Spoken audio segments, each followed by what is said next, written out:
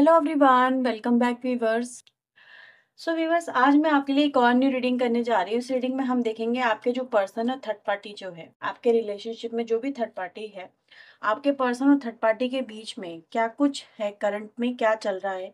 आपके पर्सन के जो थर्ड पार्टी के लिए करंट फीलिंग्स हैं, वो क्या है? ठीक है? और आपका जो पर्सन है आपके लिए क्या फील करता है? ठीक है? तो दोनों की एनर्जी गाइज़ यहाँ पे हम चेक करने वाले हैं। जनरल कलेक्टिव टाइमलेस रीडिंग है, सभी के लिए रीडिंग की जा रही है। हो सकता है हर एक से हर एक बात रेजोनेट ना हो। जो बातें आपसे रेजोनेट हो, वो रखिएगा, बाकी को इग्नोर कर दीजिएगा। रीडिंग से अगर आपको क्लैरिटी, हेल्प मिलती है तो प्लीज़ लाइक एंड सब्सक्राइब करिएगा। तो आप अपने पर्सन का तीन बार नाम ले सकते हैं viewers so please universe angels हमें बताएँ, गाइड करें।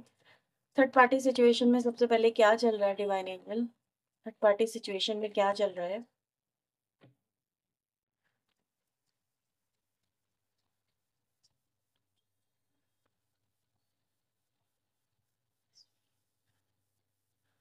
Ten of pentacle seven of swords five of cups six of wands nine of pentacle three of cups nine of wands ten of swords and the moon moon यहाँ पे क्यों आया है divine angels moon यहाँ पे क्यों आया है? Eight of swords bottom bottom the deck की एनर्जी आई है सो थर्ड पार्टी सिचुएशन में क्या चल रहा है? थर्ड पार्टी सिचुएशन में व्यूवर्स चीज़ें आपके सामने है, ठीक है, ऐसा यहाँ पे आप देख ही सकते हैं। ये सभी राशियों के लिए रीडिंग है, सबसे पहले तो मैं आपको ये बता दूँ। आपके पर्सन की यहाँ पे हम कुछ एनर्जीज को क्लेरिफाई करेंगे। सबसे पहले तो यहाँ पर हम देख सकते हैं कि इनके रिलेशनशिप में अभी फ़िलहाल कुछ अच्छा तो नहीं चल रहा है। ऐसा तो नहीं बोला जा सकता कि सब चीज़ें सॉर्ट सॉर्ट आउट है, सब चीज़ें अच्छी चल रही हैं। मे भी हो सकता है, देखो, हर एक से रीडिंग रेजोनेट ना हो। लेकिन जो मैसेजेस आएँगे, जो जिस तरह के हम यहाँ पे कार्ड रिसीव कर पा मतलब मैसेज रिसीव कर पा रहे हैं, हम आपको वही बताएँगे। ठीक है? तो आपके अकॉर्डिंग कुछ लोगों के according reading hundred percent resonate होगी, कुछ लोगों के अकॉर्डिंग नहीं भी होगी। तो आप देख लेना, ठीक है? तो जो हायर एनर्जी होती है, वही आपको मिलेगी। तो इनके रिलेशनशिप में व्यूवर सबसे पहले हम देख सकते हैं एक तरह की डिसीविंग एनर्जी है अनसेटिस्फाइंग एनर्जी है, ठीक है रिग्रेट एनर्जी है और पेनफुल एनर्जी है। और ऐसा नज़र आ रहा है reality versus expectation something is different ऐसा नज़र आ रहा है। तो कहीं ना कहीं आपका जो पर्सन है वीवर्स वो थर्ड पार्टी सिचुएशन में थर्ड पार्टी कनेक्शन में बहुत इंजॉय तो नहीं कर रहा है एज पर दिस कार्ड जो यहाँ पे कार्ड नज़र आ रहे हैं। यहाँ पर हम देख सकते हैं कि कहीं ना कहीं जो थर्ड पार्टी है, जो थर्ड पार्टी इनके कनेक्शन में, मे बी इनके, आपके पर्सन की लाइफ में आई थी, ऐसा नज़र आ रहा है कि वो किसी उद्देश्य से आई थी, ठीक है? उसके आने का एक बहुत ही गहरा और बड़ा मोटिव था, वो था मनी मैटर ठीक है? वो मनी मैटर को लेके ही यहाँ पे चीज़ें नज़र आ रही हैं। मतलब कि वो व्यक्ति इनके साथ में जुड़ी या जुड़ा इस वजह से था, क्योंकि आपके जो पर्सन हो सकता है कि कहीं ना कहीं उसको फाइनेंशली या तो हो सकता है कि आपके पर्सन को फाइनेंशली बड़ा देख रही थी, ठीक है? तो मतलब या तो ये मतलब कहते ना, एक भ्रम इल्यूजन बन जाना कि अगर मैं इसके साथ में जुड़ती हूँ या मैं इसके साथ में कनेक्ट होता हूँ तो मुझे ये मिलेगा, क्योंकि इसके पास में ये है, ठीक है? लेकिन आपके पर्सन ने या तो दिया नहीं ऐसा हो सकता है जो उसकी एक्सपेक्टेशन को फुलफिल नहीं किया थर्ड पार्टी की। और उसने तो यही सोच के, क्योंकि उसका एक परसेप्शन था, उसने एक अपना जो टारगेट था वो बनाया था कि अगर वो इनसे जुड़ेगी या जुड़ेगा तो भाई वो उसको ये चाहिए जो इनके पास है। इसमें मनी मैटर्स आते हैं, इसमें प्रॉपर्टीज़ आती है, इसमें फाइनेंशियल गेन्स आते हैं हर तरह के।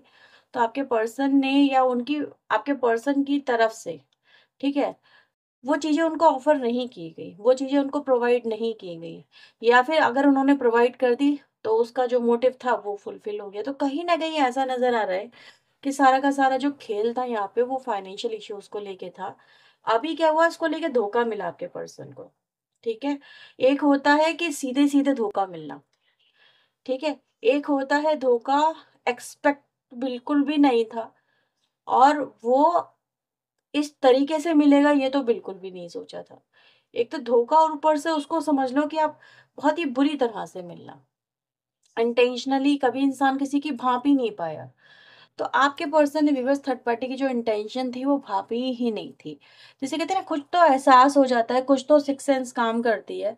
आपके पर्सन की जो एनर्जी बता रही है कि इनकी कोई भी सिक्स सेंस या तो उन्होंने सुनी ही नहीं, या इनके काम ही नहीं की ठीक है, ये तो हमेशा से यही सोचते रहे कि यार, ये व्यक्ति मुझे बहुत प्यार करती है, या ये व्यक्ति मुझे बहुत प्यार करता है, इसीलिए ये मेरे साथ में शादी करना चाहती है, या फिर इसीलिए मेरे साथ में ये जुड़ना चाहता है।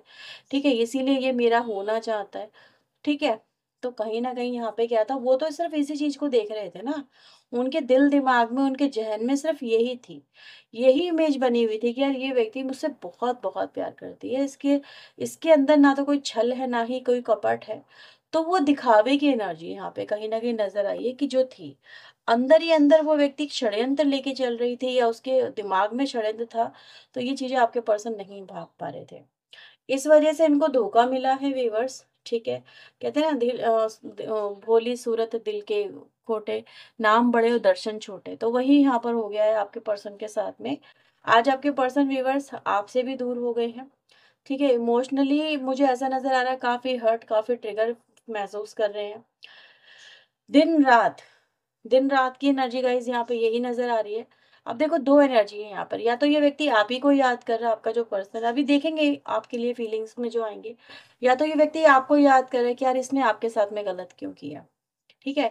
या फिर ये कहें कि वो उस धोखे को नहीं भूल पा रहा या फिर उस व्यक्ति ने जो किया है वो उसको एहसास मतलब जो हो रहा है उसको उसको बिलीव नहीं कर पा रहा। मतलब कहीं ना कहीं इमोशनली आपका पर्सन यहाँ पर ट्रिगर नज़र आ रहा है। जैसे कि अभी भी अगर मैं देखूँ कुछ लोगों के पार्टनर तो उसी व्यक्ति के आने के इंतज़ार में बैठे हुए हैं। कि नहीं वो आएगी, नहीं वो आएगा, वो मुझे धोखा देके नहीं गई है, वो ऐसा नहीं कर सकता। जैसे कहते हैं ना बिलीव ही नहीं होना। आँखों देखी पे भी बिलीव नहीं होना, क्योंकि कहीं ना कहीं जो एहसास किया है, जो फील किया है, उसी को लेके आपके पर्सन अभी भी बैठे हुए नज़र आ रहे हैं। तो आपकी आपके पर्सन यहाँ पे अपनी लाइफ में आगे नहीं बढ़ पा रहे हैं। तो ज़्यादातर एनर्जी यहाँ पे यही देखी जा सकती है। ठीक है स्टक है आपके पर्सन बहुत ज़्यादा। काफ़ी लोगों के साथ में ऐसा नज़र आ रहा है कि थर्ड पार्टी और आपके पर्सन के बीच में काफ़ी ज़्यादा इस समय आर्ग्यूमेंट हो रहे हैं, काफ़ी ज़्यादा लड़ाई झगड़े हो रहे हैं। काफ़ी ज़्यादा चीज़ें अनबैलेंस हो रही हैं। ठीक है, आपके पर्सन इस कनेक्शन में खुद को स्टक और बहुत ही ज़्यादा कहते हैं ना फ्रस्ट्रेटेड सा महसूस कर रहे हैं। विजन ब्लॉक हो गया है, कोई रास्ता, कोई सोल्यूशन कुछ भी इनको समझ में नहीं आ रहा, इस तरह की सिचुएशन है। तो आपके पर्सन व्यूवर्स थर्ड पार्टी में जाके बहुत कुछ अच्छा करके या फिर पाके या अपने, अपनी लाइफ को एंजॉय करते हुए तो नहीं नज़र आ रहे लेकिन आपके पर्सन ये ज़रूर देख रहे हैं कि third party is enjoying third party जो है वो काफ़ी इंजॉय कर रही है।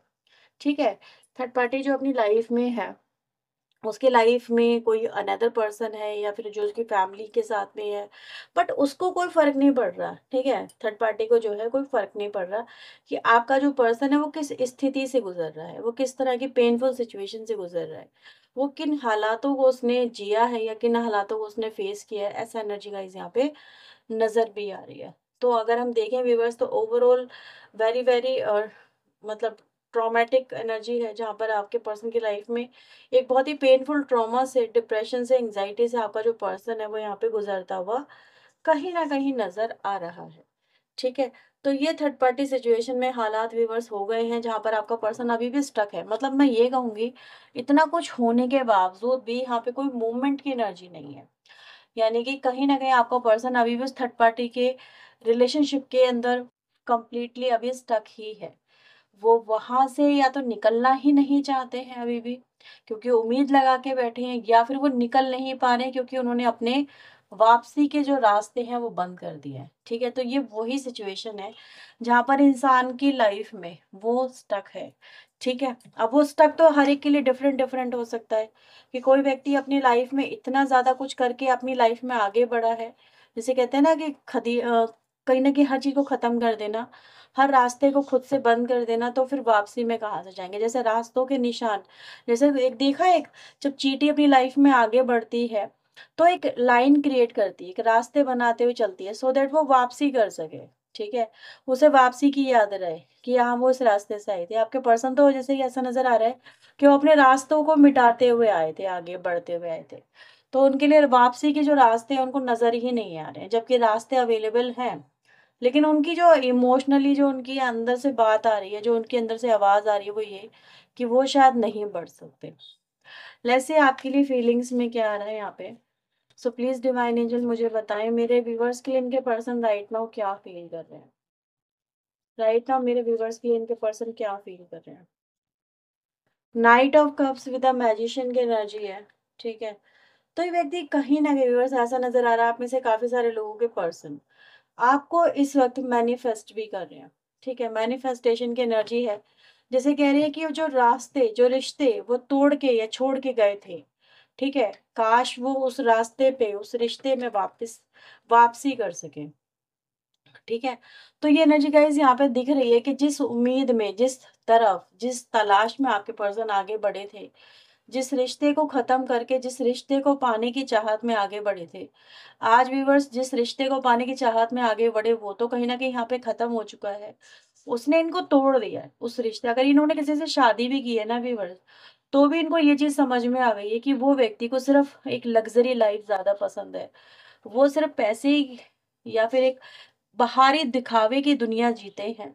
उनको घर में सुकून, ना घर में शांति चाहिए, ना घर का प्यार चाहिए, ना इनको मतलब ऐसा हो गया इनकी लाइफ जैसे ये घर के परिंदे हो गए हैं और इनके लिए घर की मुर्गी दाल बराबर हो गई है मतलब थर्ड पार्टी के लिए। तो इनकी कोई वैल्यू नहीं रह गई ऐसा नज़र आ रहा है। ये अगर इन्होंने शादी भी की ना तो शादी करके बड़े पछता रहे हैं आपके पर्सन ठीक है, ऐसा कुछ लोगों के लिए ऐसी एनर्जी आई है। देखो, आपको देखना होगा कि आपसे हर एक से हर एक बात रेजोनेट नहीं होती है, लेकिन जिन लोगों से होगी उनको खुद समझ में आ जाएगी।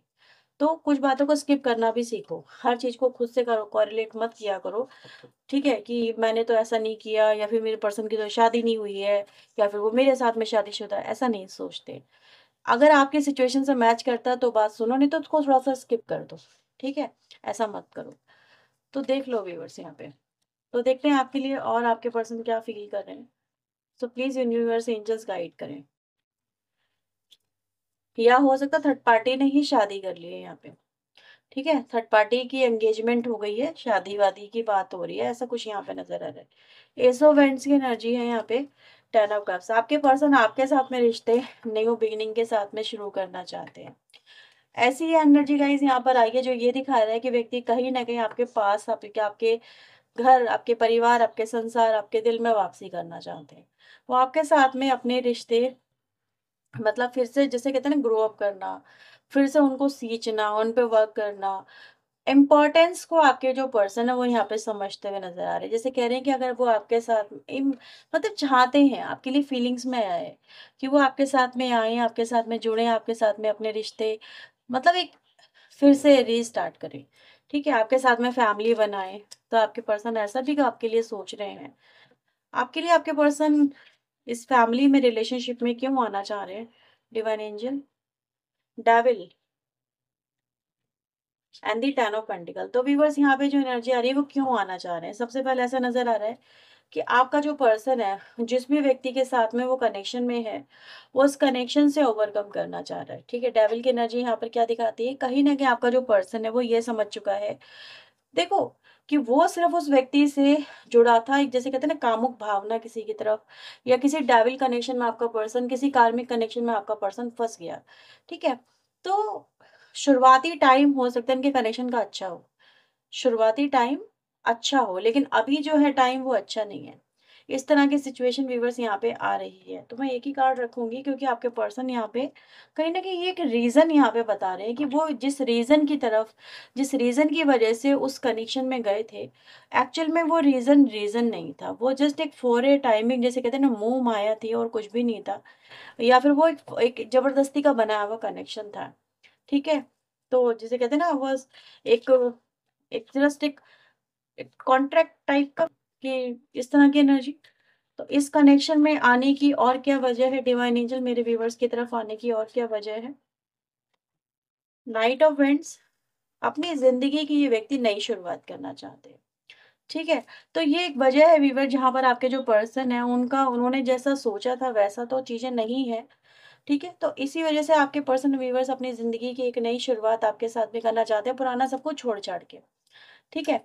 क्योंकि आपके पर्सन व्यूवर्स अब इस कनेक्शन पे फोकस करना चाहते हैं, इस कनेक्शन पे आपके साथ में आगे बढ़ना चाहते हैं। और वो जो कनेक्शन है, उससे, उस सिचुएशन से अभी बाहर निकलने की कोशिश आपके पर्सन कर रहे हैं। तो अभी भी मैं यही कहूँगी, स्टक तो है ठीक है अभी भी कहीं ना कहीं चीज़ें टॉलरेट ही कर रहे हैं या फिर कहीं ना कहीं अभी भी चीज़ें बेहतर हो जाने का इंतज़ार ही कर रहे हैं। ऐसा नज़र आ रहा है जबकि इनको पता है जबकि इनको पता है कि चीज़ें कहीं ना कहीं बेहतर होना इम्पॉसिबल है, नियर टू इम्पॉसिबल है। लेकिन फिर भी अभी थोड़ा इंतज़ार करेंगे आपके पर्सन अगर देखेंगे जैसे कहते हैं ना टाइम लिमिट तक, अगर वहाँ तक होता है तो ठीक है, नहीं तो फिर वो आपके पास वापसी कर ही लेंगे। ठीक है? तो ये एनर्जी गाइज़ यहाँ पे निकल के आई है। आई होप सो आपके लिए रीडिंग हेल्पफुल रहेगी। और रही है तो उसे लाइक शेयर एंड सब्सक्राइब करिएगा। चलिए मिलते हैं नेक्स्ट रीडिंग में। टिल देन अपना ध्यान रखें खुद को हील रखें पॉजिटिव रखें सुबह बाय टेक केयर